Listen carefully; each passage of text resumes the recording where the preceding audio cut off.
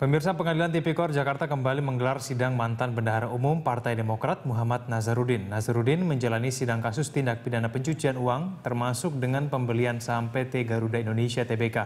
Informasi selengkapnya akan disampaikan oleh Faizin Adi dan juru kamera Krisdianto. Ya Faizin Adi, apa fokus dari pemeriksaan saksi dalam sidang kali ini?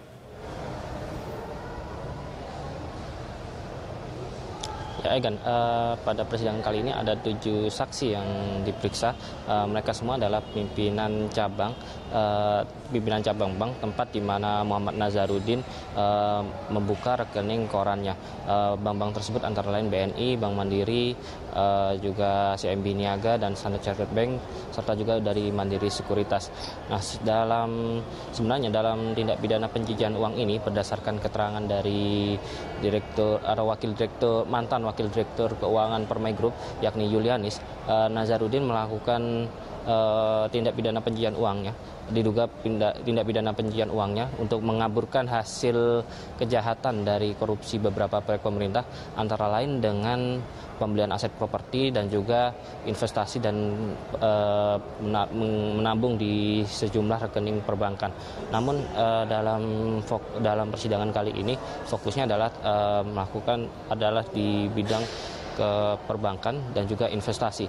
Ini antara lain dengan terkait dugaan uh, upaya Nazarudin untuk mengaburkan hasil kejahatannya dengan cara melakukan investasi dengan pembelian saham di IPO. Pada IPO di PT Garuda Indonesia dengan nilai sekitar uh, eh, 300 miliar 850 eh, juta rupiah.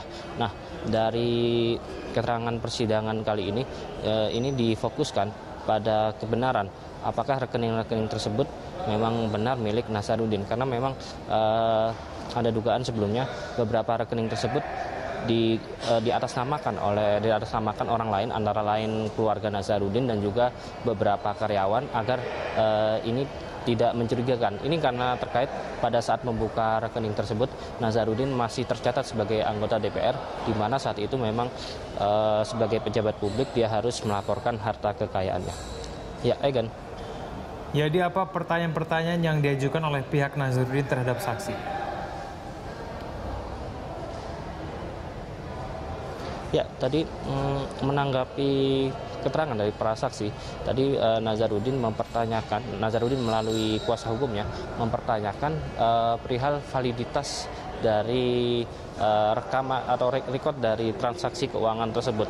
Ini mengingat ada beberapa transaksi keuangan yang uh, sebagian uh, tidak diatasnamakan oleh Nazarudin tetapi diatasnamakan oleh uh, untuk anak buahnya. Nah, menanggapi hal tersebut Tadi uh, sebagian dari pimpinan bank yang kami catat, uh, mereka menyatakan bahwa semuanya uh, rekaman tersebut sudah ter tercatat uh, berdasarkan uh, aturan dari OJK dan ini semuanya sudah legal sehingga tidak perlu dipertanyakan. Dan yang menarik juga tadi juga ada permintaan dari pimpinan cabang BNI yang meminta agar uh, rekening sebesar 11 miliar lebih uh, yang sebelumnya dibekukan oleh KPK ini uh, diminta oleh pihak BNI agar dibuka karena uang tersebut uh, bukan milik Nazarudin tetapi milik uh, dari BNI dan namun diduga masih terkait dengan Nazarudin. Ya, Egan. Baik, terima kasih atas informasinya Faizin Adi dan pemirsa News on akan kembali usai jeda pariwara berikut.